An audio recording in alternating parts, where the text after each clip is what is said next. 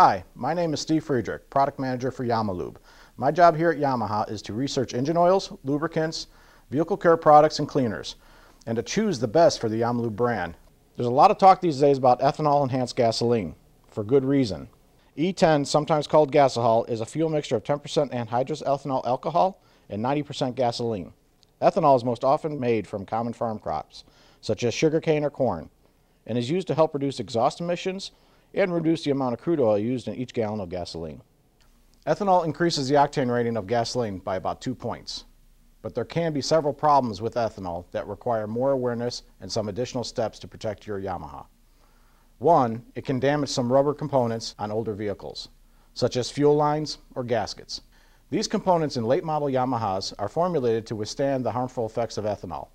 Ethanol is hygroscopic, which means it attracts and absorbs water, either water sitting in the bottom of the fuel tank or even from the air when the humidity is high. Keep in mind that the fuel tank is vented to the outside air, so the ethanol will absorb the humidity from the air in your fuel tank.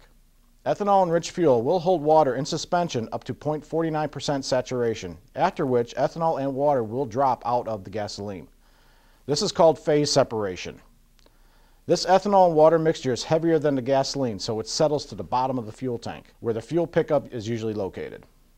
Of course, your engine isn't going to run very good, and in most cases not at all on this mixture. Simply put, the engine can't burn water.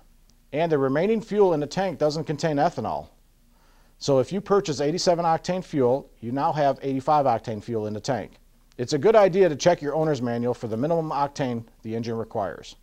If you fall below that octane rating, it could lead to hard starting, poor acceleration, loss of engine power, and other running problems. If you encounter phase separation, it's recommended to completely drain your fuel system and dispose of the ethanol water mixture and gasoline properly.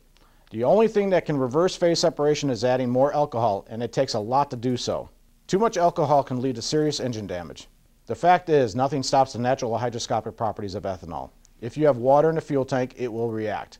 But ethanol's ability to grab moisture from the air can be controlled with the proper fuel stabilizer and conditioner.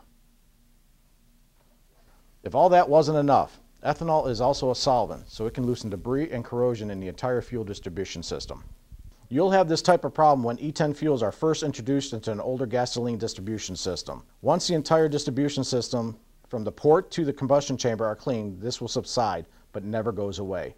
It's best practice to buy your fuel from a gas station that moves a lot of gas. You'll be buying fresher gas and less likely to be buying watered down fuel.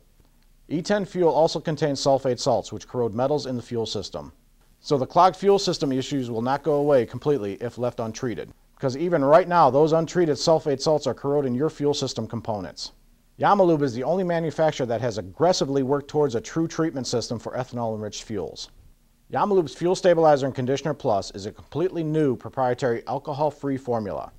It helps prevent fuel oxidation and phase separation when used on a continuous basis or for long-term storage up to one year. Yamalube's exclusive corrosion inhibitors provide extensive protection for steel and aluminum components from the sulfate salt corrosion. No one else in the market provides this level of protection. Pick up a Yamalube catalog at your local Yamalube dealer and read page 66 and 67 for complete details and data.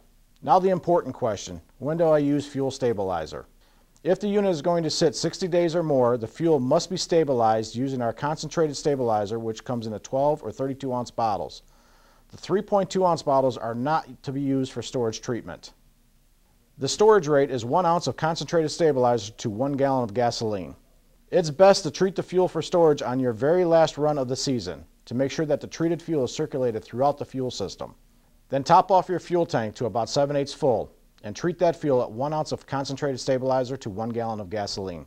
Filling the tank mostly full reduces airspace in the fuel tank and helps prevent corrosion and condensation. Do not fill your tank completely full though. This may cause spillage and gasoline overflow during temperature changes, which could create a fire hazard.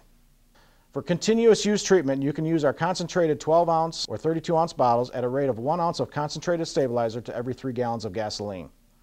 Or you can use our convenient 3.2 ounce bottle that will treat 5 gallons of gasoline.